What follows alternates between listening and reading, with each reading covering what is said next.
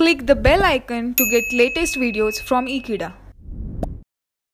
Hello friends, now we are going to see the numericals based on multiplexer. Let's start with the example.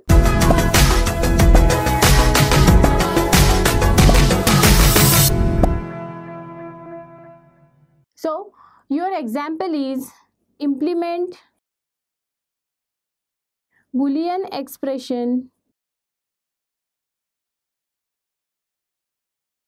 using 8 is to 1 mux. Your question is f of a, b, c equals to product of max terms 0 to 4, 7 plus d inside bracket 1 and 3. So if you see here don't care conditions are present. Now while solving the problem first of all you have to decide which mux you will use. So here product of max terms are present. 7 is present over here. That's why we can use 8 is to 1 mux and it has three select lines and output you are getting as only one. Now you can find here don't care conditions are present. So the logic is don't care conditions assumed to be logic 1.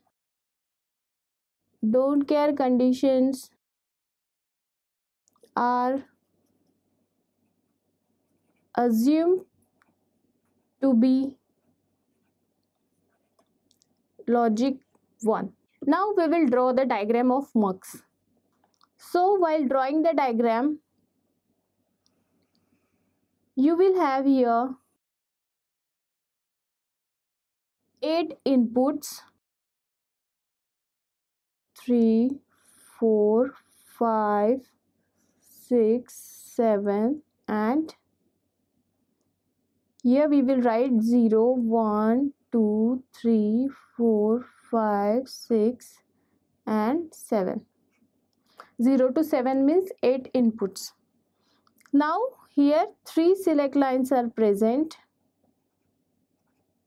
That is a b and c. And here output y. Only one output is present. And which is nothing but f of a b and c.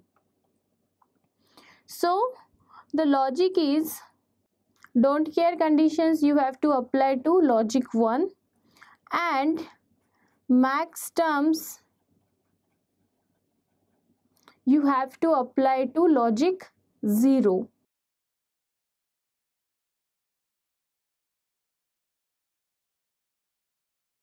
so we will calculate the max terms. Here 0 is the max term. Then 2, 4 and 7. All these terms you have to connect to logic 0.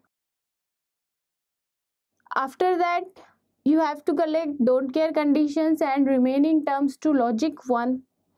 So we will connect 1, 3 and 5, 6 all these terms we are going to connect to logic 1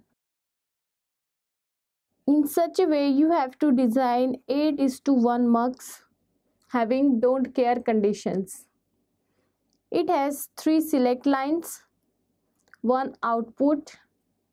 Here max terms are present so logic is connect to logic 0 and remaining terms to logic 1 this is all about your numerical based on multiplexer.